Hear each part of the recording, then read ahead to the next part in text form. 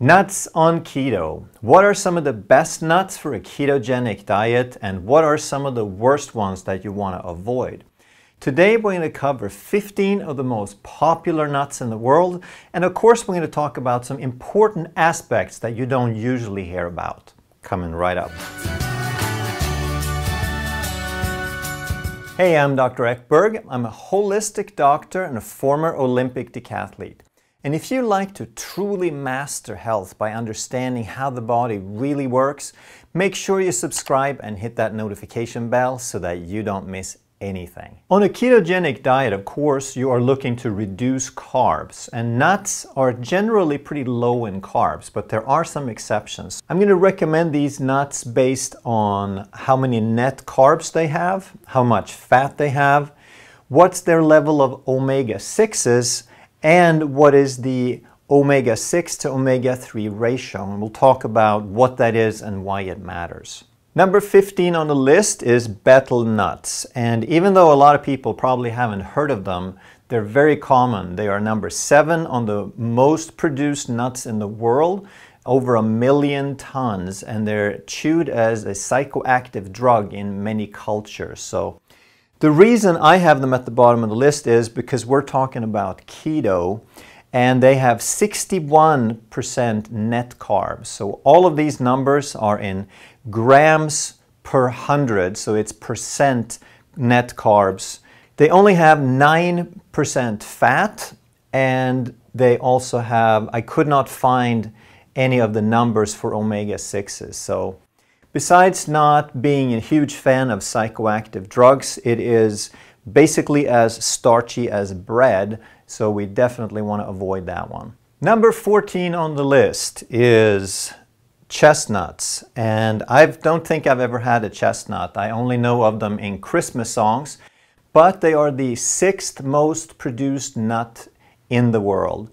I don't think it's a great idea because it has 48% net carbs and is extremely low in fat. So again, in keto, we're looking for low carbs and high fat. Number 13, cola nuts. Used to be an ingredient in Coca-Cola. It is on the top 10 list of the most produced nuts, but I don't think I've ever had one. And it has 21% net carbs and very, very low in fat. So uh, I included these on the list because they are on the top 10 most produced nuts in the world. But again, for a ketogenic diet, we, I don't recommend them, so let's just leave those for now. And I'd also like to make a short disclaimer because I know that I'll get about 50 comments or so explaining that some of these mentions are not actually nuts that some are drupes or legumes and so forth. So yes, I'm well, very well aware of that. Uh, as a matter of fact, out of these 50 nuts, there will only be three true nuts, which in a botanical sense means that they're dry, hard-shelled, uncompartmented fruit that do not split on maturity to release seeds. And I won't bore you with all these definitions, but Actually, 8 out of these 15 will be drupes. Many of them you think of as nuts. And one will be a gymnosperm, a nut-like gymnosperm seed, and three of them will be nut-like angiosperm seeds. So that's the botanical disclaimer. We're just going to talk about them as nuts because that's how people refer to them in general language. Number 12 on the list is a disappointment for a lot of people. It is a favorite for many. It's cashew nuts. I mean, how can you not like cashews? But they are very high. They're almost 30%, 29% net carbohydrate. They do have a good amount of fat, 44% fat, and they have 8 grams of omega 6s. And I'll come back and talk more about those. But the cashews we can't really recommend because it is quite high in carbohydrate. Almost a third of it is, is starch. Number 11, pistachios. 17% carbs, again, quite high for a ketogenic diet. And again, a big disappointment because two of my absolute favorite nuts, I mean, they're so sweet and so nice in your mouth, are cashews and pistachios. But have very, very few if you're trying to stay in ketosis. Number 10, hickory nuts. I don't know that I've ever had one of those, but they are quite common.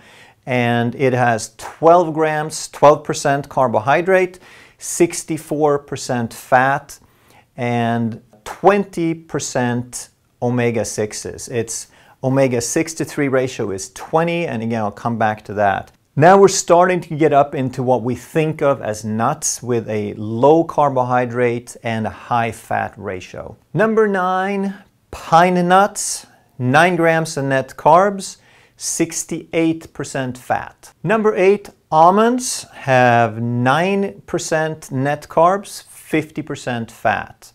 So again, not as good as some of the best ones. A lot of people have been asking me about almonds. A lot of people love almonds and it's pretty good, not one of the absolute best. Number seven, hazelnuts, also known as filberts in some countries.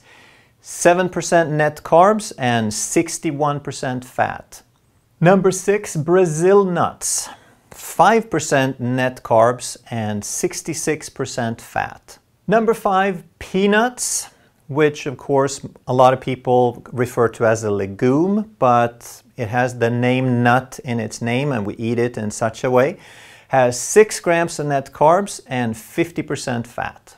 Number four, one of my absolute favorites is coconut and where these numbers are for dried coconut. So the one you buy that's dried and shredded usually because the fresh coconut meat has a lot of moisture in it. So by the time you dry it, then we get these numbers. 7 grams of net carbs and 65% fat. Number 3, pecans has only 4 grams of net carbs and 72% fat. That's why it's so yummy. It's very, very high fat and it's so delicious. Number 2, walnuts. 3 grams of net carbs, 59 grams of fat. And my number one favorite nut for a ketogenic diet is the macadamia nut. 6 grams of net carbs and 76 grams of fat. So let's talk about the important stuff. Why does the list look like this? Why have I chosen these particular properties to recommend the nuts? Because as you can see, net carbs is hugely important, but it's not in direct order of lowest to highest. We do want low net carbs and we do want high fat, but we also are concerned with the quality of the fat, the type of fat, because we have a huge problem in this country. One of the main benefits of the ketogenic diet is that it reduces inflammation, and inflammation that is caused by sugar and grains. But part of that inflammation is also caused by excess omega-6 fatty acids. So even though omega-6s and omega-3s are both essential, when we get them out of proportion, then it becomes very inflammatory and very damaging. And that's one of the biggest problems that we have in our diet today. When we look at an omega-6 to an omega-3 ratio, we want it to be as close as possible to 1 to 1. An equal amount of omega-6s to an equal amount of omega-3s. Now, it's still okay. They have estimated that our ancestors and the paleo diets and so forth, that you can still have optimum health up to about a 4 to 1. So we want to keep the omega-6s no more than four times higher than the omega-3s. And it doesn't mean that we need to avoid omega-6s completely. It just means that we need to be aware of them and we need to counteract them with some omega-3s because basically omega-6s participate in pro-inflammatory pathways and omega-3s participate in anti-inflammatory pathways. That's one of the reasons fish oil is so beneficial. It has anti-inflammatory properties and it counteracts the inflammatory effects of the modern diet. So when we look at these numbers, the reason macadamia is my absolute favorite, even though it doesn't have the lowest carbs, is that it does have a very high fat content. But out of that 76 grams of fat, only 1.3 grams is an omega-6. So even if you ate a whole 100 grams of macadamia nuts, which is quite a bit, that's like 800 calories almost, you would only get about one gram of omega 6s. So it's very, very easy to compensate, to counteract that. And if we look at the omega 6 to 3 ratio, this doesn't mean all that much. We, we can look at it and say, okay, 6 to 1 is pretty close to 4 to 1. So we're not, we're staying pretty neutral to that ratio eating macadamia nuts. But the other way of looking at it is we're only getting a tiny bit of omega 6s and therefore it's very easy to eat some fish or some fish oil and make up for that. So walnuts is number two on the list because it's very low in carbs. It is quite high in fat, not as high. And even though it has a higher omega-6, it is the nut with the best omega-6 to 3 ratio because it's the only nut that really has any substantial amount of omega-3s. Walnuts have about a 9% omega-3 content and most of the nuts have 0 point something. So you could eat a, a lot of walnuts. You can eat a large amount of walnuts and stay with that 4 to 1 ratio and not really violate that ratio too much. Pecans, number 3, has very low net carbs, 4 grams, very high fat, but it does have a large amount of omega-6s and it doesn't have any omega-3s to offset it.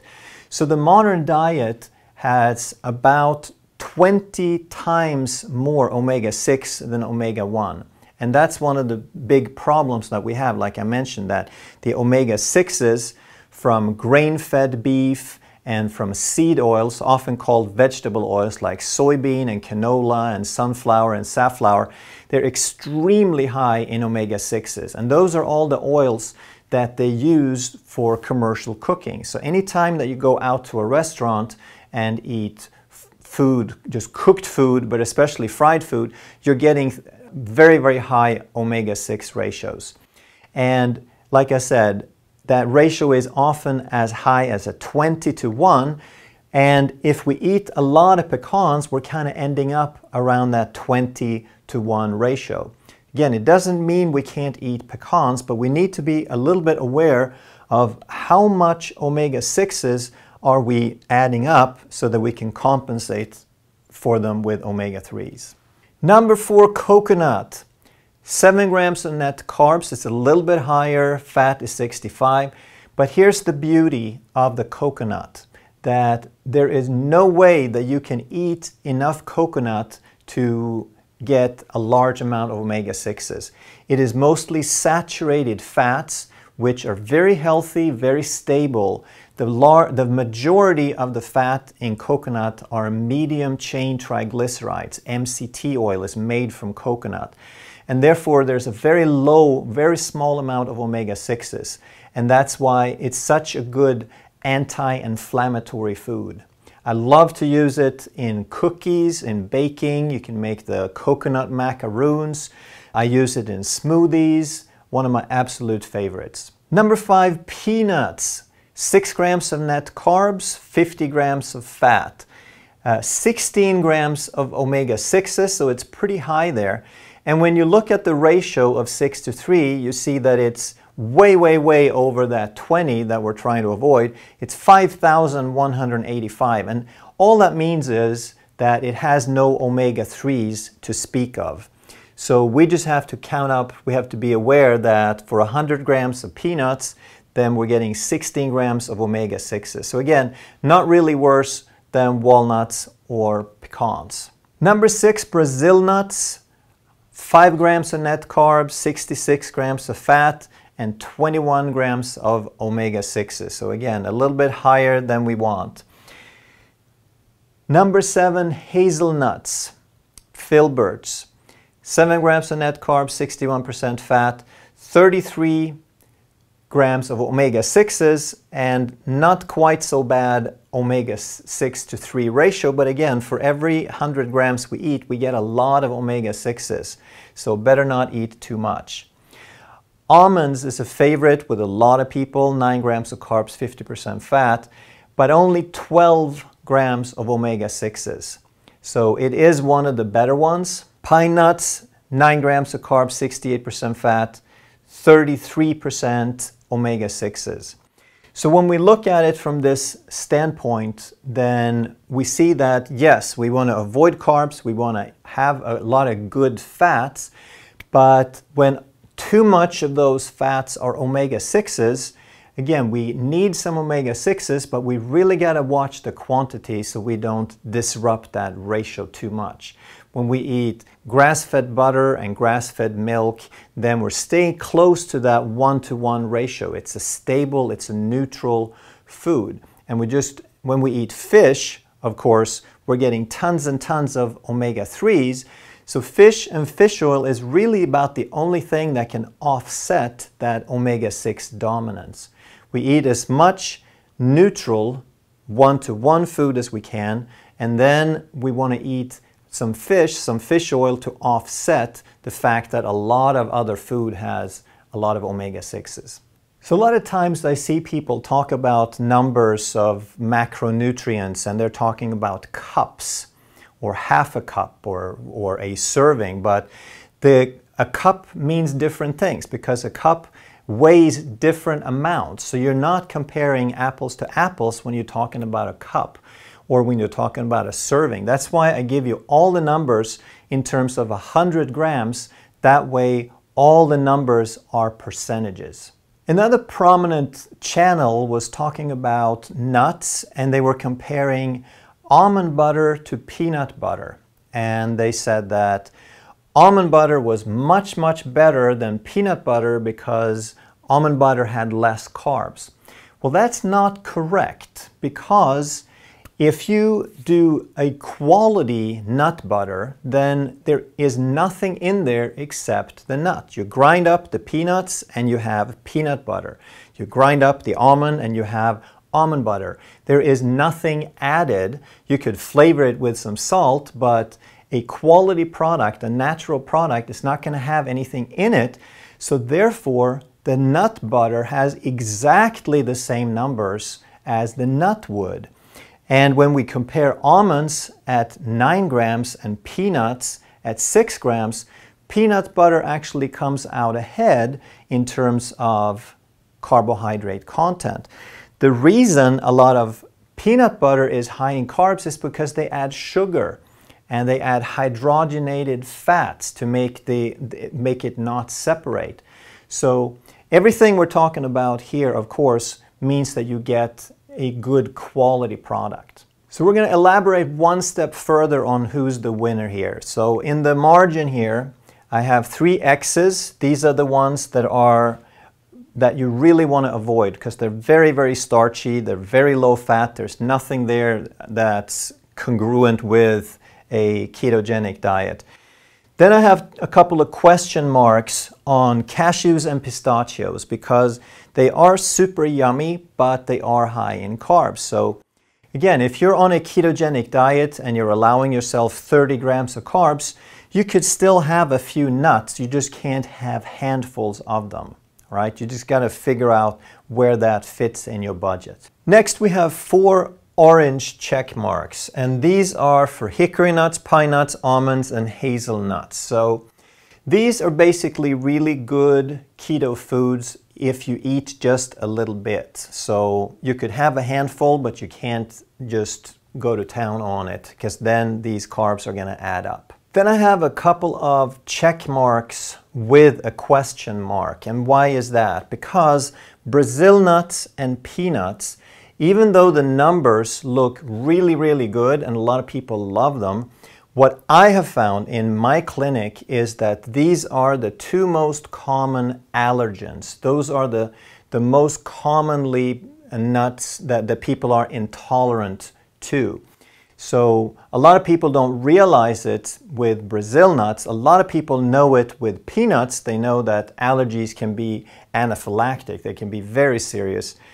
But when you get down to the really, really fine nuances of how well the body tolerates something, Brazil nuts show up as one of the most common intolerances. So be very careful with that. The top four check marks, those are my superstars. These are nuts that you can eat a large amount Uh, pecans is the only one that I would be a little bit more careful with. And of course, macadamias, because of the omega-6s, the high fat, the low carbs, you could eat virtually unlimited macadamias, you could eat virtually unlimited coconuts. And again, they're so rich that you're not going to eat a half a pound of, of those nuts. But even if you did, you'd still be within your ketogenic limits. If you liked this video and you'd like to learn more about the ketogenic lifestyle, I bet you'd love that video. Thank you so much for watching and I'll see you in the next video.